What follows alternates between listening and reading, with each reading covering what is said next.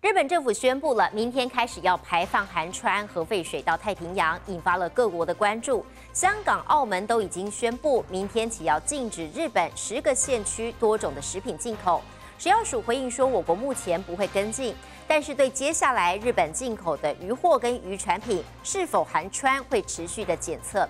未来只要发现检验结果跟背景值相比出现异常，就会跟专家开会讨论。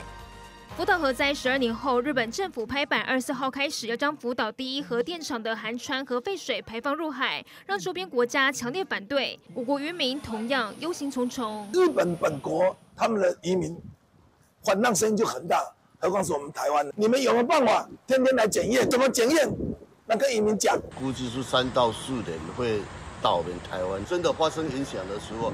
到时候我们要怎么去修缮？根据计划，日本至少要花上三十年时间排放大约一百三十万吨处理过的核废水。小鼠也和原能会合作研发出川的检测方法。从去年第四季开始，抽验边境日本青鱼、秋刀鱼等一共二十五批川残留值检测。今年也在针对鲑鱼、牡蛎等二十七件进行检验，检验结果皆低于背景值。未来只要发现日本输入的水产品跟背景值相比出现异常，就会跟专家开会讨论。不过对比我国要在边境检验。水产品，香港、澳门则是直接宣布要禁止日本十个县区多种食品进口。没有看到风险有任何改变，不会改变对日本食品在边境的管制措施。这个是监测，所以我们是去跟业者买他输入的产品，然后。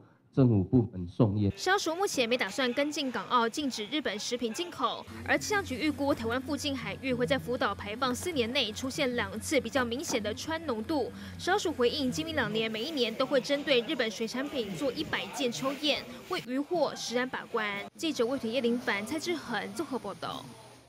民众踢爆大台北果菜市场有摊商疑似挂羊头卖猪肉，民众在这里购买的羊肉火锅肉片。送去进行两次的 SGS 检验，结果不但没有验出羊肉成分，反而在里面验出了猪肉的成分。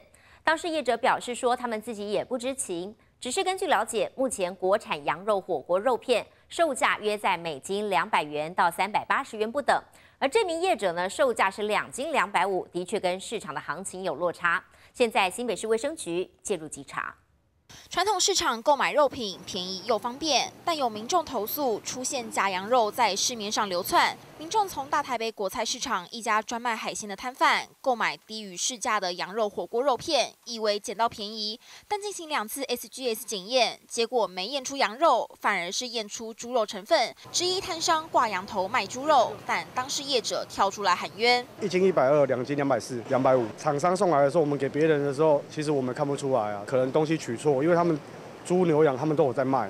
业者自称也是受害者，但民众买肉，羊肉、猪肉分得出来吗？分不出来，你吃下去的口感就会有差。说真的，有时候是凭个人良心呐。其他肉商坦言，一般消费者肉眼难以辨认，但如果将猪肉佐以香料和羊油调味，的确可能以假乱真。根据了解，目前国产羊肉火锅肉片价格落在每斤两百多元到三百八十元之间，但这家业者贩售的价格两斤两百五十元，的确和市场行情有落差。昨天已经前往这个该摊商去做稽查，那有抽验这个羊肉火锅片。送验它的供货的原料的部分，它确实是有羊肉、猪肉跟牛肉。那羊肉的来源是纽西兰跟澳洲。食药署和新北市卫生局都已经介入调查，如果是标示不实，最重可处四百万元；但如果是掺位假冒，可依法处七年以下有期徒刑，得并科罚金八千万元。是不是挂羊头卖猪肉？等五到七天的检验报告出炉，说实话。记者综合报道。有民众日前从美式卖场好事多买了一款有机中筋面粉，结果竟然在面粉堆里面发现有活体虫。有网友留言说自己买了同款面粉，也遇过相同的状况。对此，好事多卖场回应说，目前还没有收到这名会员的反应，希望会员把产品送回卖场来协助厘清事发的原因。而医师表示了，面粉出现肥虫，代表着环境卫生条件不佳。可能是在制造、运送或保存过程出了问题。如果民众误食，可能导致食物中毒。面粉堆里居然出现了一只蠕动的肥虫，民众从美食卖场买回这款有机中筋面粉，崩溃发文说将面粉分装冰冷冻，结果到的时候发现好多一丝丝的东西，面粉上一颗颗的应该就是虫卵，最后还播到了活体虫，网友看了直呼好恶心，有点太离谱了。我有买一款，它的米也是常常都会有米虫，哦，不再买了。他们的品管问题啊，我们买回去顶多是退货，但是问题是东西不知道吃下去是不是对我们长期有什么损害。但美式卖场同款面粉出包并非第一次，有网友六月就曾提醒新开封的面粉袋口有丝状的异物，还有一只虫，袋内还有牵丝的东西。而早在四月，民众也买了同款面粉，发现了蠕虫。退货的时候，业者还承诺会向总公司反映，没想到隔了四个月，还有类似状况再发生。代表说卫生条件不好。到底在制造端，或者说在运送和保存不当导致的，这点还要继续分析。吃下肚就担心会造成食物中毒。而美式卖场好事多表示，目前还没收到这名会员反映，希望会员能将产品送到卖场协助厘清事发原因。但美式卖场食安连环爆，光是八月份除了面粉以外，鸡胸肉也曾出现过肥虫，还有甘露综合包也被检出残留农药。食药署统计，截至上午为止，业者已经回收七十点二九六公斤的毒甘露。实际违规的财罚金额还在演绎当中。记者综合报道。八月初受到了台风西南气流的影响，高雄桃园山区降下了强降雨，导致南横公路明坝克路桥钢便桥被冲毁了。没想到连日大雨又爆发了土石流下冲，河床淤积将近七米高。公路单位又再度封闭了明坝克路桥钢便桥，只提供行人通行。对此，桃园区公所也紧急宣布，包括了复兴里、拉弗兰里以及梅山里停班停课。山区大雨又来了，滚滚泥流不断冲刷桥墩，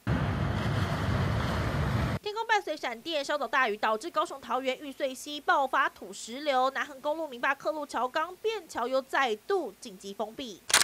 河床预计将近七米高，临时变道一度法通行。八月初，明巴克路桥钢便桥才受到卡努台风西南气流影响，遭大雨冲毁。没想到时隔将近二十天，又受到大雨影响，临时河床变道又封闭。桃园区公所也紧急宣布，二三号复兴里、拉弗兰里、梅山里停班停课，受损的非常严重，所以呢，当下六点半就宣布停班停课。一些重大病患。